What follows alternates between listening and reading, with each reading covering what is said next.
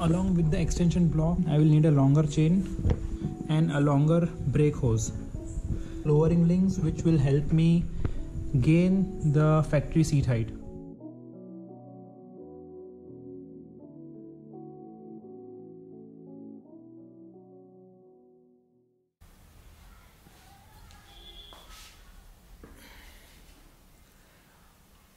not sure how I'm gonna look on screen. Never been into such type of vlogs. Anyways, guys, welcome back to my garage. Coming straight to the topic, it's 24th Feb today. It has been three years since I am in relationship with this thing. Got it back in 2019 on 22nd Feb.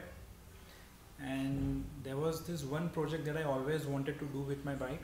That is increasing the wheelbase basically wheelbase is the center distance between the two wheels. Of course that is done by extending the rear uh, wheel outside the bike. So anyway just like all my videos let's start with the things that are needed for this project and a step-by-step -step guide for how I'm going to do this entire modification by myself at home.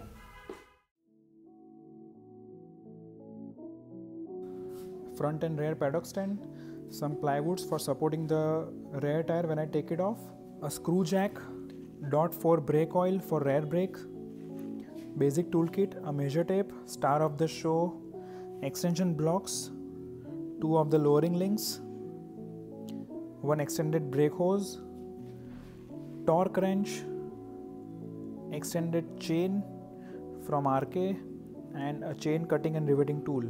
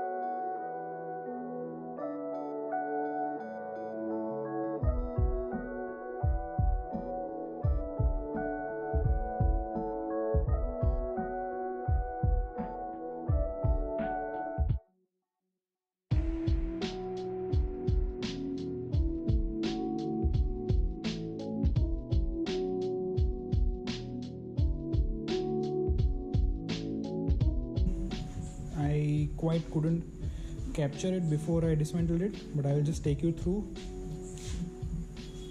The handlebar bolts needs to be taken off. The two screws over here needs to be taken off. Then Allen bolt over here and on the opposite end over here. After that the two bolts the luggage bolts over here and here these are all the bolts that are covered. After, uh, apart from that there are push locks over multiple locations. Four of them over here. Two right over here and here. And the last two will be there and there. That's it.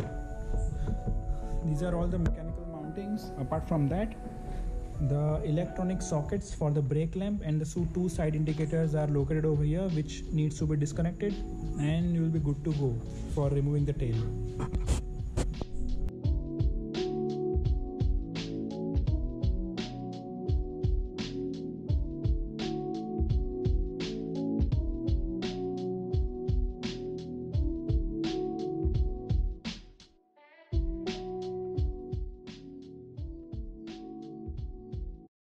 One eternity later.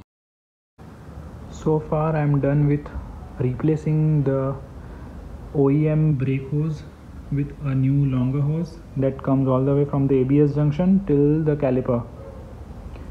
I haven't really covered the entire process of doing that because it was a little bit complicated thing and I had to do certain trial and errors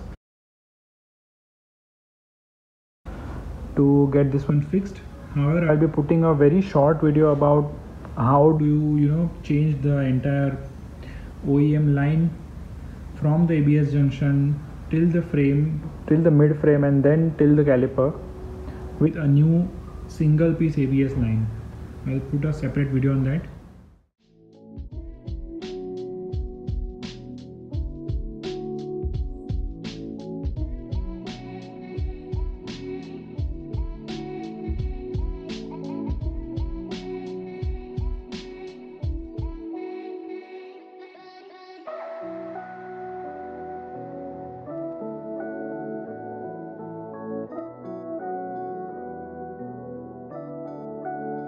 now after removing the chain guard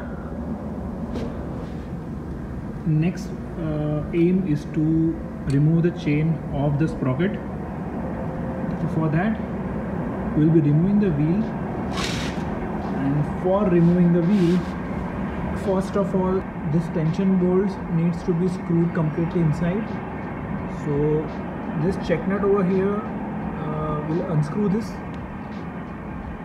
screw this bolt completely inside. Same on the other side. Same thing will be done over here. That will allow me uh, to push the wheel inside once I unscrew this axle nut. And then we'll get the chain off the sprocket and then remove the wheel completely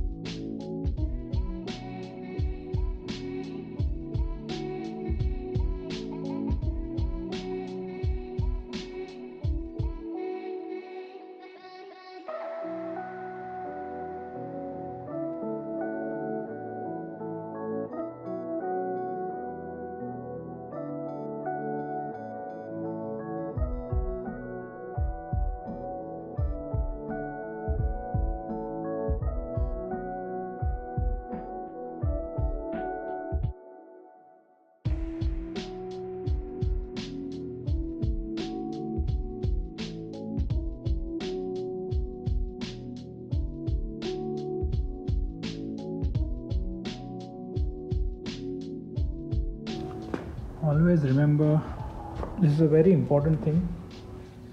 Whenever your brake pads are hanging around without a disc there's a no disc right now between them make sure that the brake pedal is not pressed even by mistake.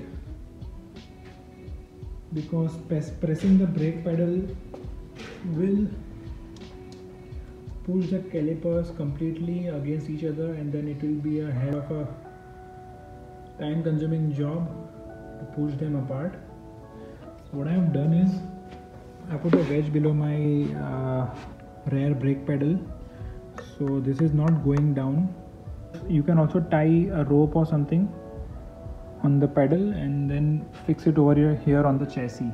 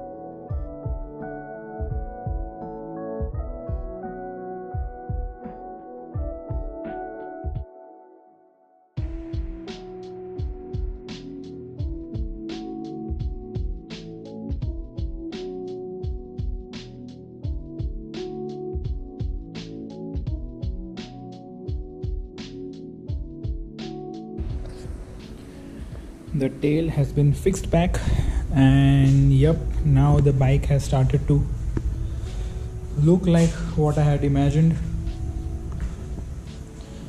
Few things still pending the lowering links deciding how much do I want to extend it outside. And that will determine the length of new chain